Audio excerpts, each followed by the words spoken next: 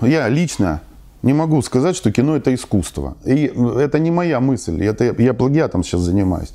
Эту мысль я услышал, ее высказал Карен Шахназаров. Однажды, ну кто-то там, не помню, его интервьюировал и задали вопрос там, по поводу искусства. Кино не может быть искусством, потому что это результат деятельности группы людей, это индустрия.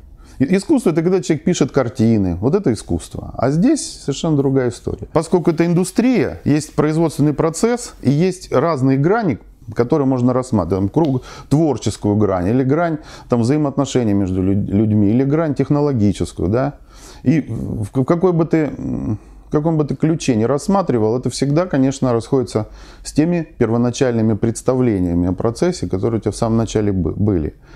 Это понятно, потому что ты судишь об, об этой индустрии по конечному продукту.